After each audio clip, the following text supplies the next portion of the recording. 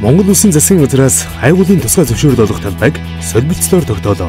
Ашигт малтмалын газар хайгуулын тусгай зөвшөөрөл хүссэн өргөдлийг 9-р сарын 24-ний өдрөөс авч эхэлнэ.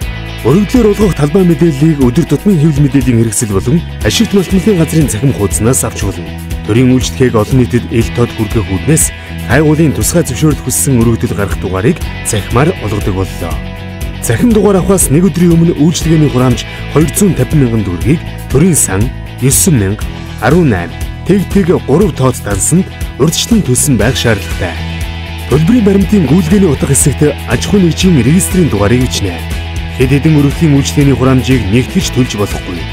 Хайгуулын тусгай зөвшөөрөл хүссэн өргөдөл гарах дугаарыг цахимаар www.хайгуул.mram.gov.cg-ийн хуудсанд хандан авах ба та захим дугаар авах зааварчилгааг анхааралтай уншиж танилцсан уу?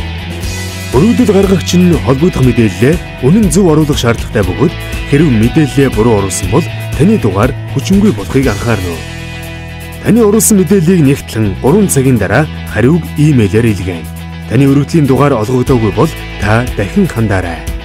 Хэрв танд өргөдөл гарах дугаар олгогдсон бол ашигт малтмалын тухай хуулийг заасан холбогдох баримт бичгийг бүрдүүлэн хайгуулын тусгай зөвшөөрөл хүссэн өргөдлөө ашигт малтмалын газарт дугаарт заасан цагт гаргана. Таны өргөдлийг хүлээн авч ашигт малмлын тухай хуульд заасны дагуу шийдвэрлэнэ. Та шаардлагатай мэдээллийг доор хаягаас болон ашигт малмлын газраас авна уу?